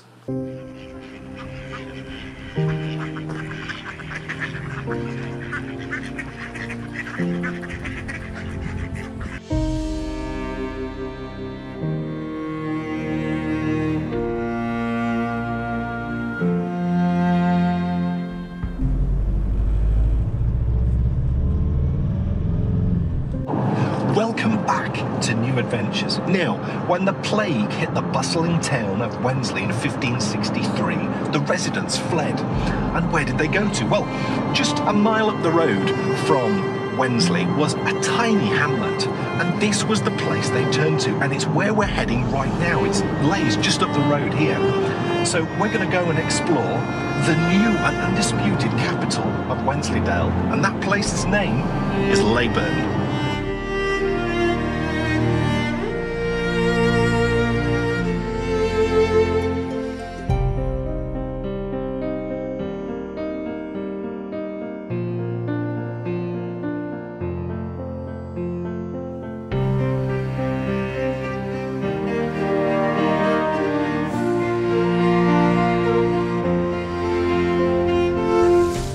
Been to Leyburn many times before, and it's a big, exciting, vibrant town. Now I know the story of Wensley. You can't help but stop and wonder what might have happened if the plague hadn't hit. This would most probably be a sleepy hamlet like Wensley is now, and Wensley would probably be the big market town that Leyburn, the undisputed capital of Wensleydale, has now become.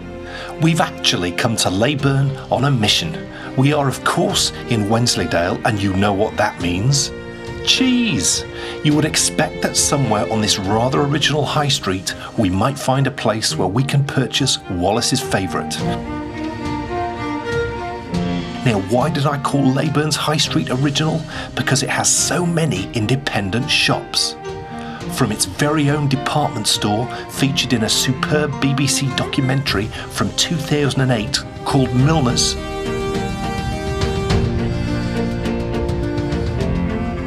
to its very own independent supermarket, Campbell's, where I have a feeling we might be able to pick up some cheese and crackers for lunch.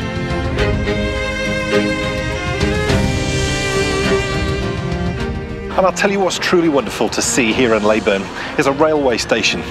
Because I'm sure many of you will know in the 1960s, so many of the stations that served towns like this were shut. But thanks to the North York Moors Historical Railway Trust, many of the stations across Yorkshire have reopened, and we can all enjoy the magic of travelling on a steam train once again. Folks, I don't know about you, but I am absolutely exhausted. So, with cheese and would you believe it, some fruitcake in hand, I think it's time we got back to the car and had some lunch. We couldn't come to Wensleydale without eating some Wensleydale cheese. And what a lovely shop we got it from. Indeed. It's like an independent grocer's, wasn't it? You don't see shops like that very often. No. Wensleydale cheese. We've got some Wednesday. I can't speak. I'm It's so excited. And look, we even brought a knife and a plate. Are you impressed with how prepared we are? Made famous, of course, by Wallace and Gromit, really, isn't it? I think that's where the global yes, yes. success comes I'd, from. Well, I'd uh, probably, yeah, you're probably right. Should we try a bit on its own before we have Try it a with bit the on it. Yeah, do that. And I'll, I'll I'm the hoping this is good stuff. I'm It looks wielding- buttery. It, it does look buttery. It looks very nice. It's so mild. I mean, how could anyone not like that? It's very It's crumbly. lovely. Oh, it's very milky, isn't it? Mm, It's lovely. It's like it, it's it's like cheese from days gone by. Do you know what I mean? When I it's Oh yeah, proper cheese. proper it's proper cheese. Yeah. So should we try a bit with the fruitcake? We This haven't is done perfect. this. We haven't done this since. We filmed a. Really, it was as It we was we've actually precursor to the to, to this. New Adventures, wasn't it? Yeah, you know the the, the Bakery Bears picnic. We picked up along the way some Wensleydale Yeah. and some. And some fruitcake. And what did that fruitcake say on it? Did it say it was anything specific or? The, this one here. Yeah, It's just when it's from Wensleydale, it's from it? Wensleydale. It's made by J.W. Cockett and Son, Wensleydale fruitcake. who were established in 1854. So they must be good. Wensleydale fruitcake. And it says Wensleydale Creamery up there, so they must yeah, sell they that. They must sell this at Hawes. Yeah. Let's give it a go. So let's try it. Oh, it's lovely. Is it lovely? It's the salt with the fruit. Mm-hmm. I mean, it's an age-old combination, isn't it? It's absolutely delicious. Mm-hmm. Surprisingly filling as well. You know, I think cheese and fruitcake. Oh gosh, yeah. It really, you know, if you're out on an adventure like we are today, it's the perfect thing to have. Along the way, there's an awful lot of places where you can get food Hmm. because we actually got fish and chips. We did. because there's a fish and chip shop. And to be fair, there's places just like this. Our next destination also has a lot of different places It where you could pick up lunch from. Yeah, and there was lots of options here. There was another little supermarket. There's loads of bakers. So, So Hmm. what do you think for? Well, I think it's really good, and there were benches around Hmm. the marketplace. We just did, didn't sit out because We thought we'd look a bit bananas, eating. getting out a plate and a Yeah. knife and I think I would have been a bit self-conscious. You know what I'm So- like. What do you um, think for picnicability? I think it's it's pretty good. I'd probably go an eight again. Yeah, I'd agree with that. And there's pubs as well Interestability. for for for labour. No, Oh, the day altogether. Wensleydale. Oh, I think it's been brilliant. I'd probably go a 10. I think it's been great. That's shocking. How could I disagree? Honestly, folks, and we've not finished yet. Nope. I, I've been it, that that screen in that church. That church was amazing. you know, a 16th century one that monks would Mm. have sat on. That it really took my breath away. But not just that, the story of Wensley and you know, tragic, but also look at it now. Mm. It's an absolutely gorgeous. And I've already said this today, but had that plague not hit, would this be the little hamlet that it was? Maybe so. And would Wensley be like this? Yeah. And actually, I think Wensley is better off like it is. Mm. We've got a score of 26. It's not the 26. it's not the top, but it's four off the top. It's pretty good. E- Wensleydale is a tremendous place. Hmm. There's so much to see and do. There's so many places that you could go and visit. And what the walking. It's it's phenomenal. It's Yeah. just one of the best parts of the world, in my humble opinion. Mm. Our journey is not over. There's one more destination Yeah. that we really wanted to stop at today, and that's a place called Bedale. And it's a bit of a drive away, so I think we should get on the road and see what we can find out about along the way.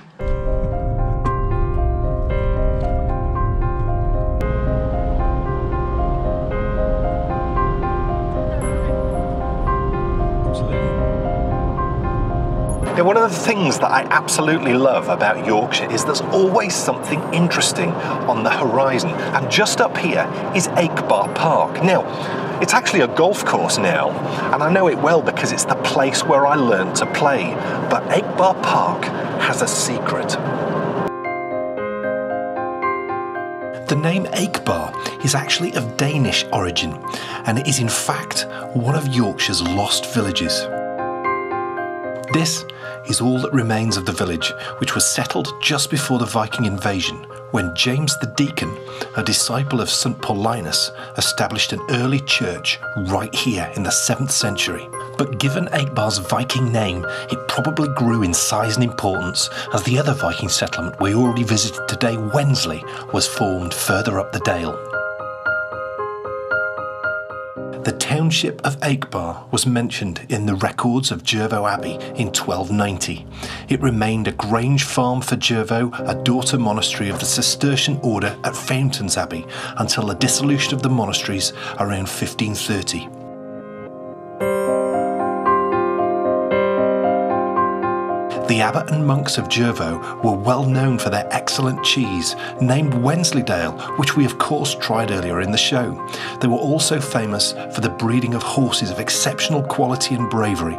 It's recorded that a large number of their brood mares were kept right here at Grange Farms at Akebar.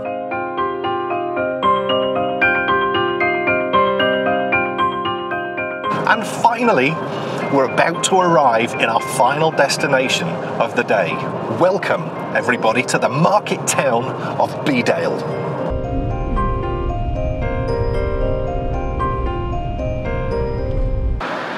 Now, those of you who know your geography will know that Bedale isn't actually in Wensleydale. It lies at the end of Wensleydale and at the start of Swaledale, and it's actually considered part of Swaledale. But that didn't stop the councillors here trying to get a geography change in the 1800s. That never happened. But to me, this is the start of Wensleydale, and the majority of the tourists will come through here as they make their way down Wensleydale. So let's get into the town and explore some of the wonderful sights that I know are waiting for us just up this hill. Bedale was granted a market in 1251 AD, and the town very quickly grew up around that square, and it's changed very, very little since then. In 2012, a group of metal detectorists exploring a field near Bedale discovered an extraordinary hoard of silver and gold objects dating from the 9th and 10th centuries. Amazing stuff. The find was dubbed the Bedale Hoard, and it's now on display at the Yorkshire Museum in York. Among the objects were a sword pommel, silver ingots, necklaces, and armbands. The presence of the hoard certainly suggests that there was a high status presence in the Bedale area during the Viking period.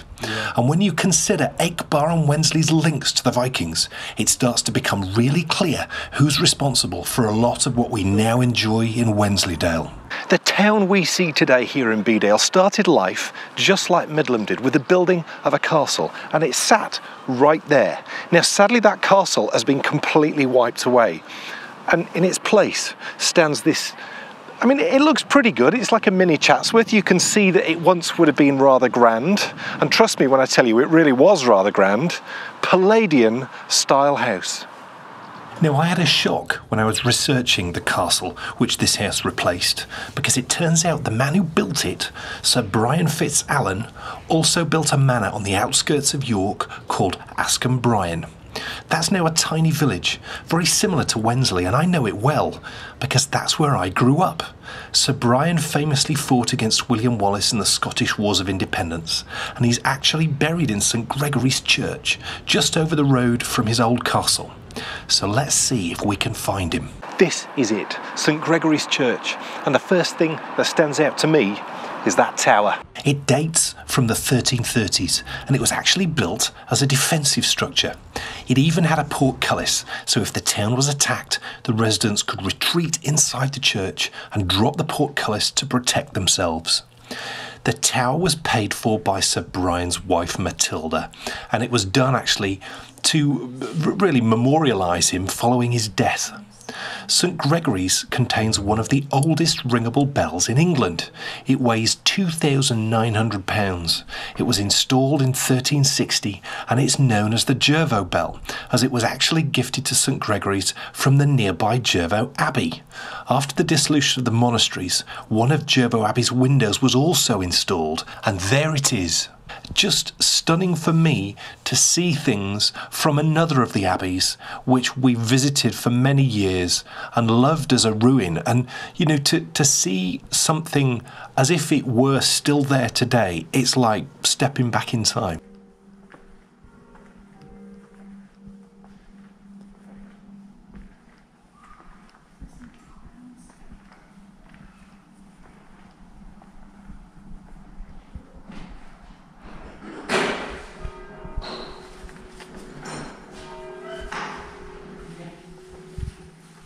and there on the right is the remains of the tomb of Sir Brian FitzAlan, the man who's brought us here today, and the man who, unbelievably for me, gave his name to the village where I spent the first 18 years of my life. What a fascinating place, and the perfect end to the story of probably the most famous of all the Yorkshire Dales.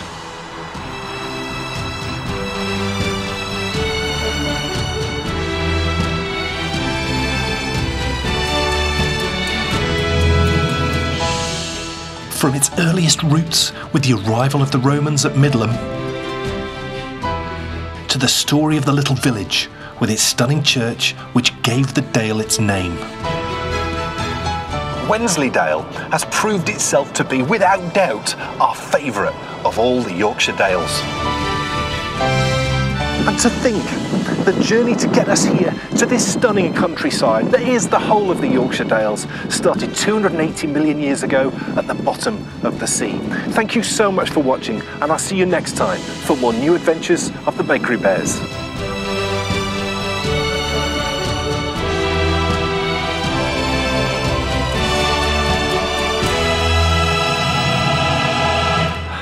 Oh yes, my goodness, what a! Do you know what? I loved that. I loved it too. It was We've been building up to that the whole series. Oh, have we? What a series it's been! I was thinking that when I was editing this up. Do you know what? We made some changes at the start of this year. We really every year we try and up production values, and we really push the boat out with regards to new adventures and with Pudding Club. And I just think it's transformed what we're able to do when we're Mm, out filming, and it's just. It's just wonderful stuff. It really is. You know that really just great. brought together because we've not, we've never been able to get those in motion shots before. Right. So you know, to give that sort of to do a proper road trip, you need to get the feel of the journey which we're going Hmm, on. And so being able to do that, you know, really for me, it really brought things together. Yeah, And also as well, yeah. when you're travelling through the Dales, you need to see the beautiful fields with the you know the, the Oh, the hay bales are just beautiful at this time of year, aren't they? I love Yeah. them. So, you know, some I, I often say because some are square, well, not square. Some are rectangular and Yeah. some are circular, aren't they? Yeah.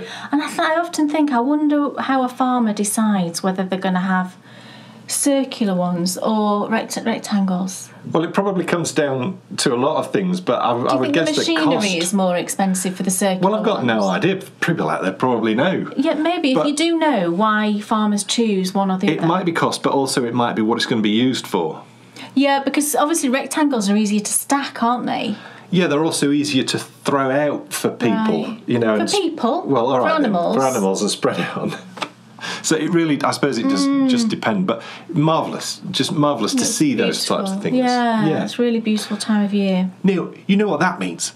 It means next time in episode 134, Kay is back for the final pudding club of the season. Ah. So that means it's going to be an absolute corker. You do not want to miss this. I'm excited. As we come to the end of the Pudding Club season and the New Adventures season, I don't want you to be downhearted because we have some surprises in store for you this year, and that's all I'm going to say about that. Mm. All will be revealed as the episodes continue. Mm. Probably episode 135 will might What are we number drop, on now? drop some hints. 133. Right, okay. Folks, it's time for the endy bits. Empty bits. Neil, we've already spoken about the Miss Potter 2. We, we have, but there's one other thing I I, wanted to that's mention. That's why I brought it up. Oh, right, okay. There's one other thing I wanted to mention about that. And a few people had asked me about whether there's a knit along. There is a knit along, but I'm doing it in a very casual way. I really love the way that the Swish and Flick knit along has been going. And you know, if you're participating in that sort of chatter and FO thread on Ravelry, you'll you'll just appreciate the kind of energy that's around it. And I wanted to do a similar sort of thing with the Miss Potter. So I've opened thread, but there's only one thread. So you can chatter away in that thread, you can talk about your yarns, you can post pictures of your progress, but you can also put your FOs in that thread as well. So it does it does explain it all when you actually look at it on the you know the details. And then what i'll do is i'll announce it on the podcast that goes out on the 6th of december. So i'll let the the knit along run until the end of november. The last pattern comes out at the beginning of november. So i'll give it all of that month. And then at the beginning of december i'll pull for some prizes from that thread. So if you've been in there chattering away loads then you'll stand more of a chance of winning a prize. And i, I just really like like I say, I, I liked the inform informality of just having the one thread where you can all just pile in and you can all chatter and you can post your finished objects and you know everybody then stands as much of a chance of winning a prize even if you've not quite finished your socks Yeah, yeah. you still stand a chance Yeah. so that's my plans for that and that's underway And y- you mentioned there that you've really been enjoying how the Swish and Flick has been going. Yeah. When's the next pattern for the Swish and Flick due out? The next pattern for the swish and flick what date are we on You don't now? know, do you? Off the top of my head, I don't know the exact date, no, but it's towards the end of this month. Right. The next pattern for the Swish and Flick will come out then because she doesn't know. It's not acceptable. I have lots of dates to remember in my head. So the next pattern will be out then, and also along with that pattern, there'll be the next chapter in Clementine's story. Yeah. And you can, of course, keep getting involved. Yeah. Just like you'll be able to do with the Miss Potter, Yeah. with the KAL that's ongoing. Yeah, Yes. absolutely. That's brilliant. Yeah, and I'll be drawing for another prize for the Swish and Flick when the next pattern comes out, as I've been doing, and it'll be another one of the skeins of yarn that I dyed up, and another one of the lovely bags from Sasha. Cool. Tell us about the new KAL. Right. We thought it was time we had a full on knit along. When I say full on because you know the ones we've got ongoing at the minute are specific, aren't they? And this we wanted this to be, you know, everybody can join in and really to be inspired by the fact that we're just coming into autumn, which I know is a lot of people's favourite season Yes. And it just oh fills me with joy and i thought right okay do you know what let's start a really fun knit along for the whole of autumn the theme for this knit along i'll tell you the name of it and then you will you'll know what the the sort of subject matter is and the knit along is Yeah. going to be called the autumn equisocks knit along Jumpers. do you get it? Ignore, ignore the fool to my left. No, the autumn equisocks, KAL. Hats. No. so it's going to be a sock knit along. Right. And this knit along is going to run from the autumn equinox, which is the 23rd of September. So it's not that long, really. No. I think it's like 8 a.m. in the morning, the actual equinox. Um, so it'll be. So any from- entries before that will not be accepted. No, but you but I, we will accept whips in this i'll talk about that in a second so yeah it's going to run from the 23rd of september which is the autumn equinox and it's going to finish on the day of the winter solstice which is the 22nd of december Excellent. so we just thought that was really lovely. You know, it incorporates the whole of autumn. We can all enjoy knitting loads of autumnal socks. They don't have to be autumn themed specifically, you know, you can knit any socks you want to, but it needs to be an adult pair of socks. Because you know, baby socks just can be knit up in a flash, can't they? So Yeah. let's stick with adult socks. You can, like I said, you can. So it's adult socks.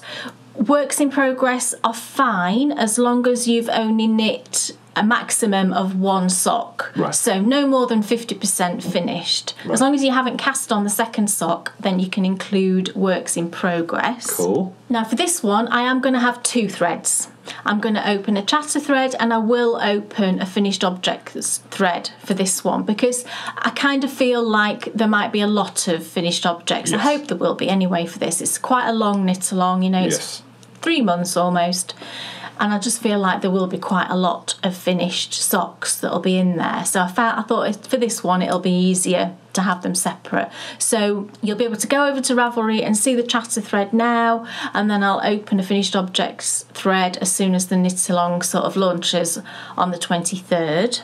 Now there will be some prizes. So far I've dyed up the I've got the rainbow set that I showed you. I'm going to use that as a prize, and I called the colourway rainbow mitts because that's what I'm knitting with them. I thought that was quite sweet, but obviously you can do whatever you want with them. You don't have to knit mitts. So I've got those lovely set, that lovely set of minis, and then I've also got this sock set that I dyed up a little while ago. I said I wanted to use a set of it as a prize, and the colours just seem perfect again for autumn and I called this the autumn gold sock set.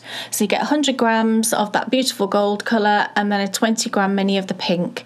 And it just kind of reminds me of autumnal sunrises and sunsets where you get, you're still getting that pinky colour in the sky, but then you're also getting lots of golds. And I put it on a lovely pink band, which I thought was nice. So that's two of the prizes I've got. There may well be other prizes as we go along, but that's the ones I've got so far.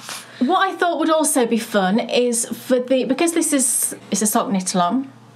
What I'm going to do is for the duration of the knit along, I'm going to discount all of my sock patterns by 15%. So from the 23rd of September to the 22nd of December, all of my sock patterns will be 15, 15% off. You don't need to enter a code, it will just automatically give you that discount.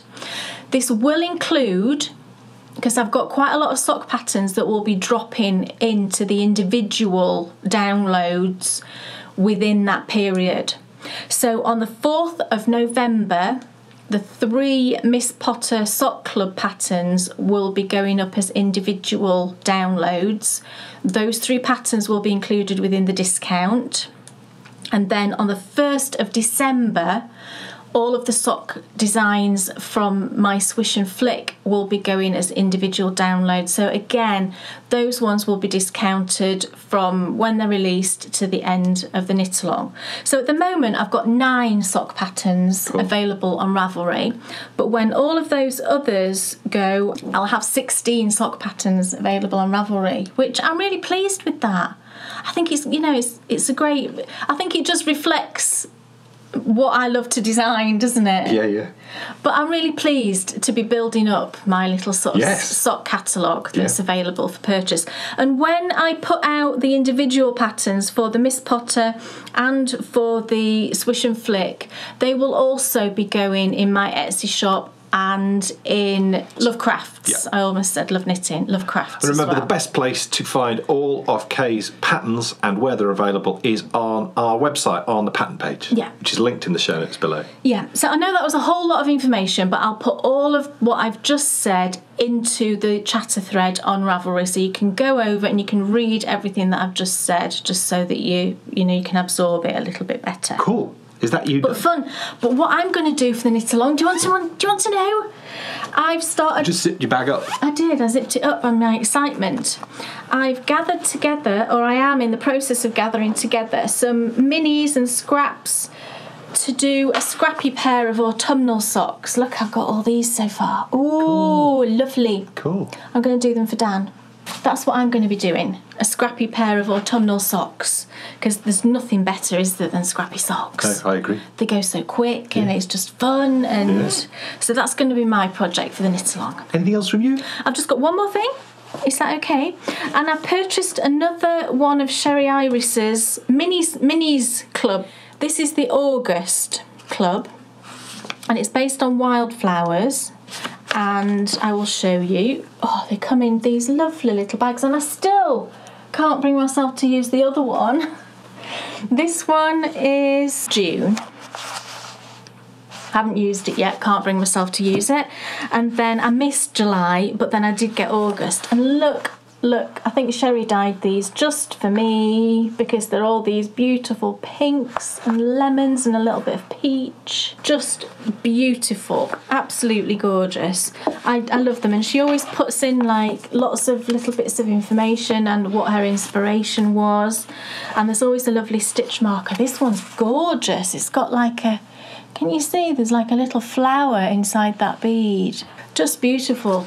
And I really want to do something with these by themselves. So, and I've just ordered as well September's of these. I'm probably going to keep getting them every month because I just love them. And I really want to do something with them all together. So I've got kind of blanket thoughts in my head of having like a Sherry Iris blanket. I'm not quite sure what type yet. But they're just such they're just such beautiful yarns. I just I just love looking at them. So that's why I haven't been able to bring myself to use them. But I am. I'm gonna I think I'm gonna do some kind of blanket, I think. Cool. Next week, Baker Bears Radio Show episode six. Don't miss it. Be out on Friday. Also, there's loads. Oh, Knitability also. Knitability, because of the launch of the radio show and some late submissions on some articles, that our last issue was delayed. It will be out next week, so don't miss that. Also, uh, Kay starts a brand new tutorial series next week on cabling. Cabling. Plus, the cake show is back over the next couple of weeks. I think it's the week after next. that's Ah, it, excellent actually. news. We've not had a cake for ages. I know, and I'll have the latest edition of the Yoke Show, but that is not next week, but the week after as well. But before we finish, I just also must mention that the One Moment in Time socks, the last Platinum Collection socks For this year. for this year, Yeah. prior to the launch of the 2020 collection. Yeah, which is always like Christmas Eve. so the 24th of December, the 2020 Platinum Collection will launch. Yeah. The final pattern in the collection became available at the start of this month. Yeah. It's the One Moment in Time socks. And you can find out all about these socks on our website here, but they are just gorgeous. They are gorgeous. And do you know what I'm going to do?